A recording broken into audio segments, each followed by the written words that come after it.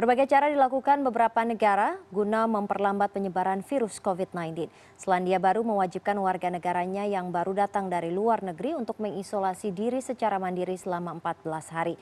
Meskipun belum menerapkan lockdown, pemerintah Selandia Baru sudah melakukan pelarangan masuk bagi semua pendatang kecuali warga negara New Zealand, Australia, dan negara-negara Pulau Pasifik.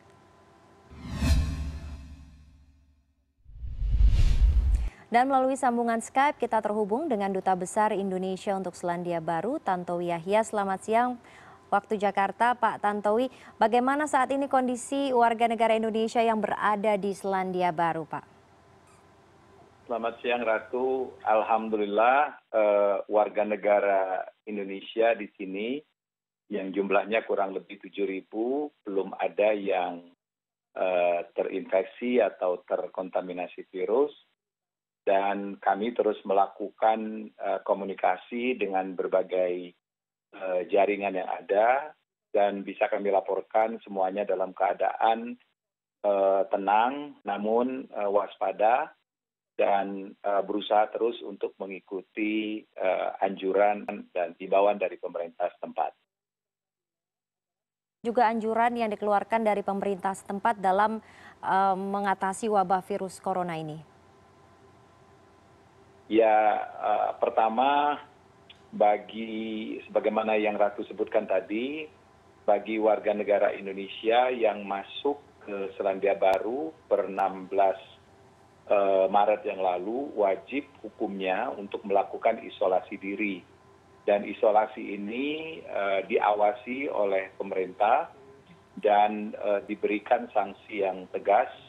Sanksinya bisa kurungan dan juga denda itu bagi uh, uh, permanen resident.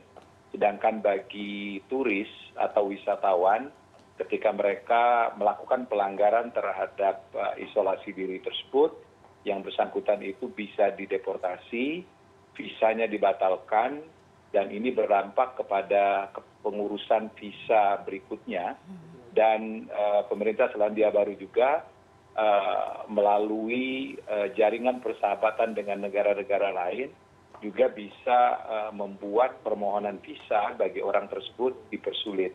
Hmm. Jadi sanksinya ini benar-benar keras. Baik, jadi isolasi ini kemudian dipantau begitu ya de, oleh pemerintah setempat begitu. Jadi tidak dibiarkan mandiri oh. isolasi sendiri begitu. Oh, dipantau Mbak hmm. ya nah bagi masyarakat yang ada indikasi eh, seperti misalnya kurang enak badan ya kemudian batuk batuk flu itu dianjurkan untuk tidak eh, meninggalkan rumah mm-hmm. namun di sisi yang lain mereka juga tidak dianjurkan untuk ke klinik maupun rumah sakit tapi cukup uh, menghubungi nomor tertentu dan kemudian nanti ada petugas yang berkomunikasi dengan orang tersebut yang paling penting itu adalah isolasi eh, diri karena isolasi diri inilah yang akan menjamin terputusnya mata rantai penyebaran. Baik, jadi di sana tidak ada warga begitu yang berbondong-bondong ke rumah sakit untuk uh, tes corona seperti itu ya Pak Tantowi?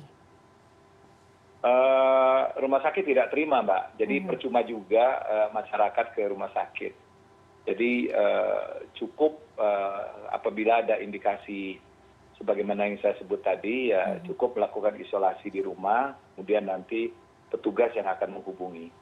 Baik, ada informasi mengenai uh, New Zealand ini akan di lockdown, apakah benar atau seperti apa, Pak Tantowi? Sampai dengan hari ini belum ada, namun sejak kemarin pemerintah Selandia Baru telah memperketat Eh, masuknya eh, wisatawan. Jadi eh, tidak boleh lagi ada yang masuk ke selandia baru kecuali warga negara permanen resident beserta partner dan anak anaknya serta warga negara australia. Tadinya ada pengecualian dikecualikan hmm. bagi negara negara pasifik.